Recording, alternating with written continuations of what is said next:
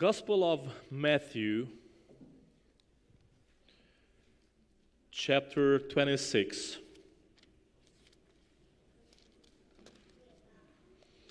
Starting with verse 31.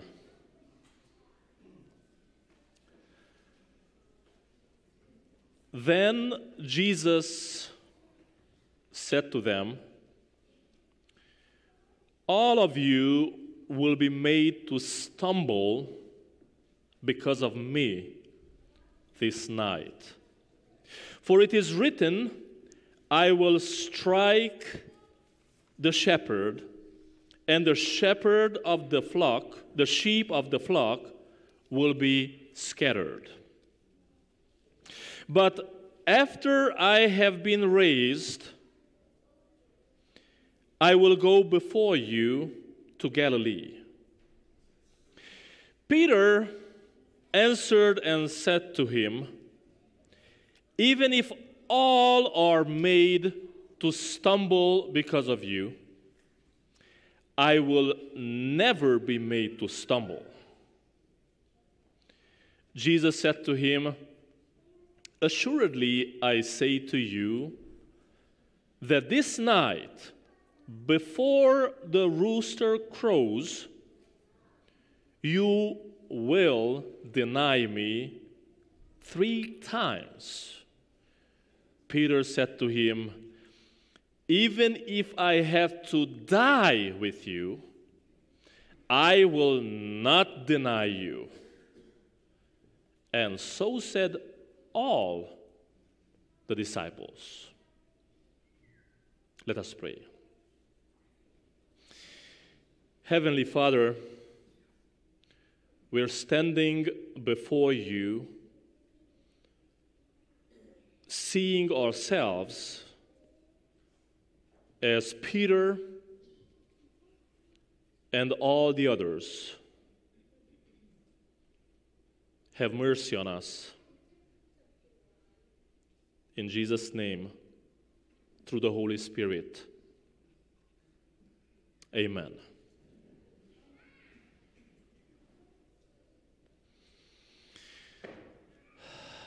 Humble or stumble?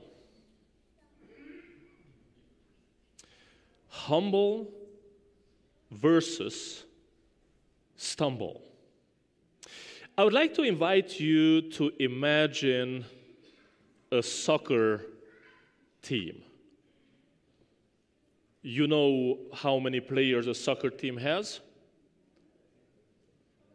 How many? 11.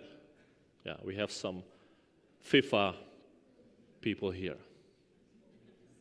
So imagine that soccer team right before the final game of uh, World Cup.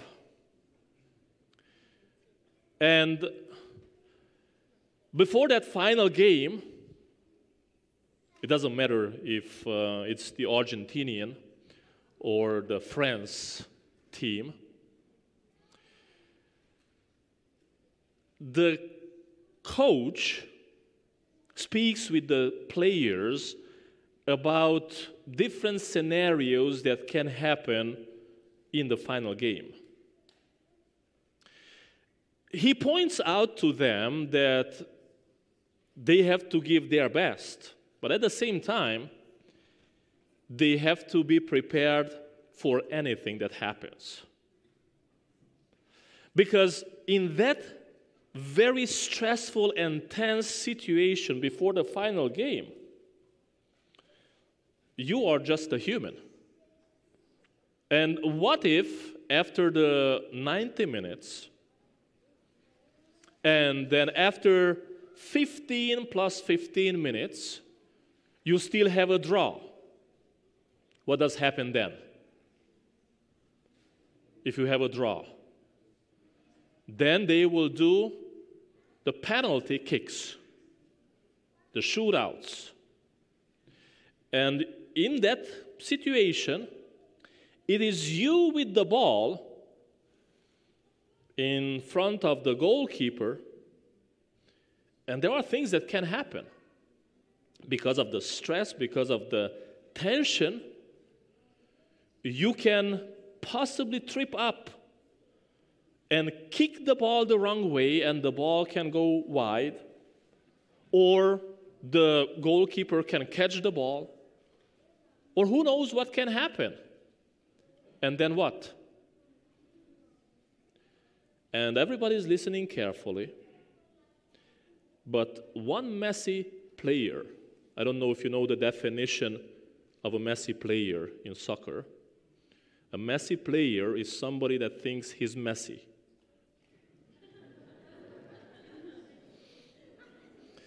so, one messy player walks up to the coach and he says, Listen, if all these trip up, I will never trip up. What do you think about this would be messy? Cocky. What is wrong with him? Is he all right? See, Matthew chapter 26 introduces us into this scenario when after the communion service, after the first communion service, Jesus speaks to his disciples and he says, All of you, all of you will, ma- will be made to stumble. The word there is scandalizo, which can be translated as trip up. All of you will be will trip up because of me this night. In other words, Jesus will be the scandal and he will be the stumbling block. They will trip up because of Jesus himself. And Jesus says, Don't be scared, don't be too concerned about that because it is written, I will strike the shepherd, and the sheep of the flock will be scattered. And he's quoting Zechariah chapter 13, where God, in a prophetic insight, gives us, before it happens, that Jesus will be suffering in ways to which he did not contribute. And you would think it was the Jews, it was the Romans, it was humanity that uh, gave him that strike of suffering, but that's not the full picture. If you go to Isaiah chapter 53, Yet it pleased the Lord, it pleased Yahweh to bruise, to crush him, that is Jesus Christ. He, Yahweh, has put him to grief. I will strike the shepherd, Jesus quotes. Yes, God the Father did that to his son.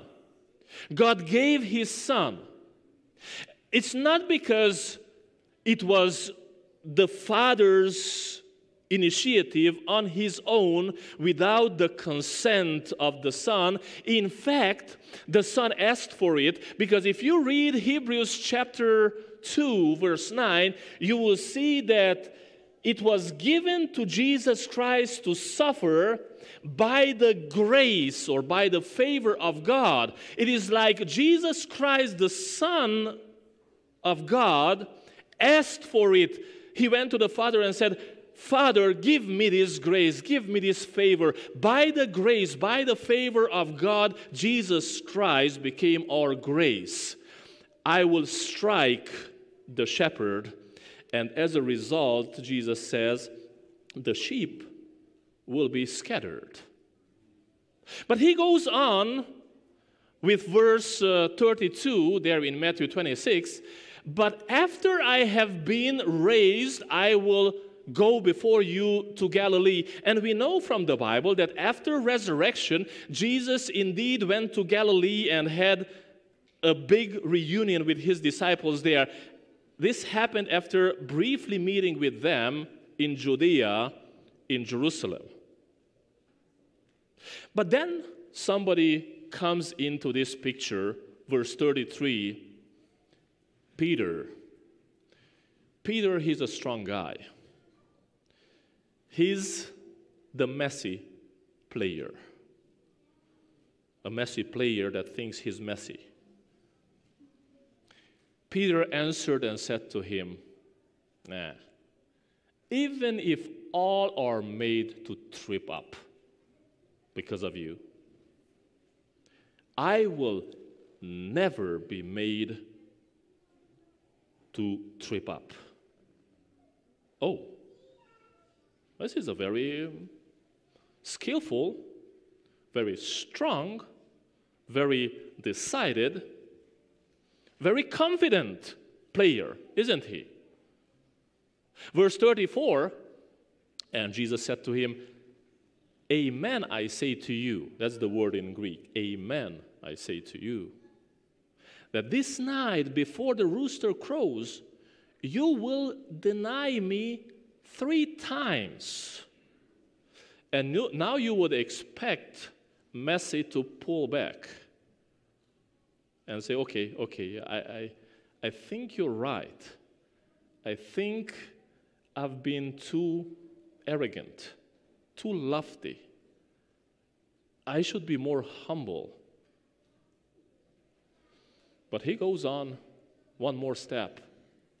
Peter said to him, Even if I have to die with you, I will not deny you.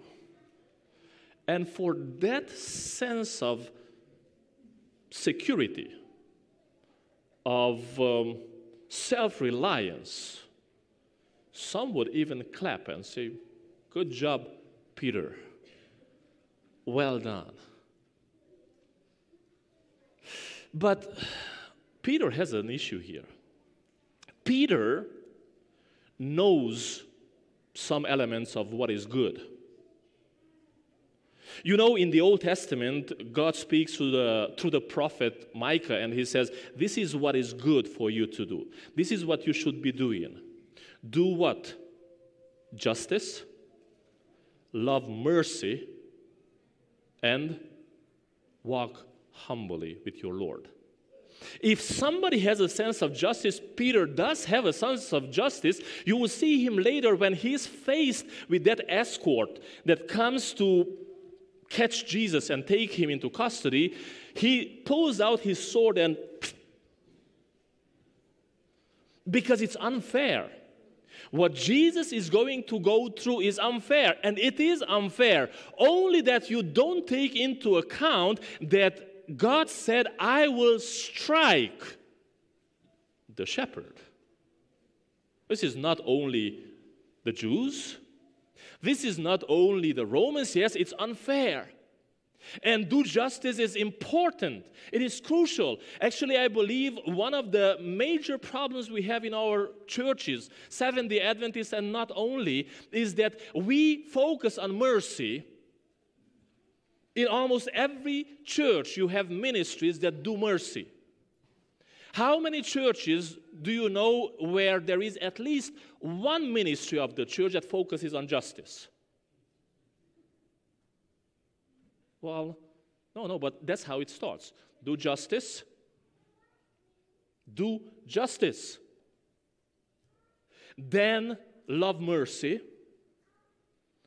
And then Walk humbly with your God. But you can imagine this chronologically and think, okay, so first I'm going to do justice, then I'm going to show mercy, and then in the end I will walk humbly with my Lord. But that's not the point, it seems. It seems that if all three are not together, you're going to mess up. And Peter does come out very strong in justice you know, I remember it was long ago, not too long ago, but long enough so I can tell the story. I was in my first district of churches, it was uh, a few weeks, maybe months into my ministry, when somebody that had a very humble look came to me and asked me, Pastor, have you ever seen a sheep that bites? I said, A sheep that bites, like biting grass or biting people? Well, biting people, he said. A sheep that bites people. Have you ever seen a sheep that bites people? And I said, Yeah, this guy is going to give me now a prophecy lesson about the uh, beast that has horns like a lamb and a mouth like a dragon. I said, No, no, I have not. It's only a prophetic picture. No, no, Pastor, this is real. In this church here, there are many that are sheep that bite. Hmm, interesting. But, Pastor, I am not like them. I would never, and you know how this goes, I would never, and I will always. And at those times, and those days, I didn't know exactly what that meant. But I, I kind of went home thinking about this picture of a sheep that bites. And indeed, pretty soon I did see a sheep that could bite. Do you know who that was? The person that came to me and he said, I would never and I will always. That's Peter. Even if I have to die with you, if all these fall, if all these stumble, if all these trip up, I will never, I will not, and the Greek says, I will not, I will no, not deny you. It's a, a double negative. I will no, not deny you. And now you can go on thinking about Peter, but there is a problem. Go to the next slide, please. You know what that is that says? And so said all the disciples. So if you thought it was only Peter, you know, it's easy to read the Bible when everything applies to somebody else you have a negative character there, and all the bad things belong to the negative character. Peter, Peter, he's the bad boy. He's the messy guy. No, no. And all did the same. So said all the disciples. And then, after Jesus is resurrected, Matthew 28 says that they indeed went back to Galilee then the 11 disciples went away into Galilee to the mountain where Jesus had appointed for them. Verse 17 When they saw him, they worshiped him. But some have, some doubted, some had doubts. You know, I don't know how this year has worked for you, 2022. This Sabbath morning is a moment of worship.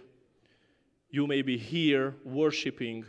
We have been worshiping. But you may be one of those that have doubts. Matthew 28 continues in verse 18, and Jesus came and spoke to them, saying, All authority has been given to me in heaven and on earth. To whom does Jesus speak here? To those that worship or to those that have doubts? Or to both those that worship and have doubts?